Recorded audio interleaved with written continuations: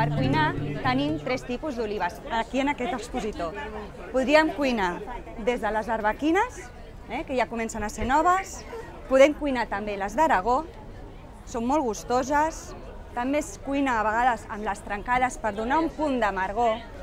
Aquestes vermelletes d'aquí, tan cuques, són picantones. És un picant que primer mossegues i no es nota, i després va pujant. Per festes, aperitius... També en tenim una altra, que és aquesta aquí verdeta, però que no us enganyi el color. És una oliva molt baixa en sal. Gent que no pugui prendre sal, aquesta és ideal per ells.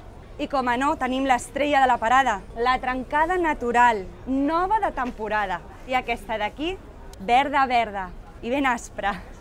Aquesta és una oliva farcida d'ametlla, una ametlla natural, i està muntada una a una. Després tenim un còctel més especial, amb unes herbetes de Provença, seria aquesta d'aquí. La sortida és ideal doncs, per aperitius, per canalla, és molt gustoseta.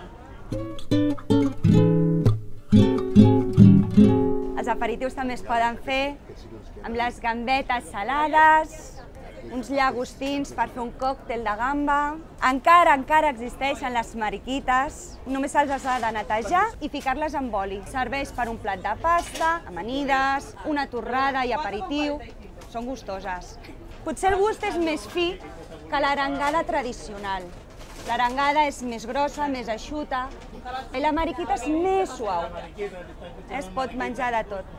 Com no, la reina de les bacallaneries, les anxoves. Aquesta és la seriala de la costa. I després tenim anxova autèntic de Cantàbric. Aquesta ja és més prensada, grossa.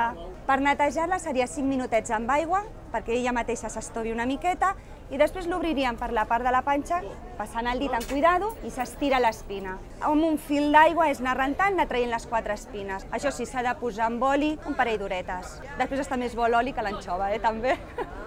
Això d'aquí és el que diríem a la peixateria maires. Aquí en sec en diem capellans. Això només s'hauria de ficar amb una barbacoa, ben brassejat, ja que xalades es pot menjar.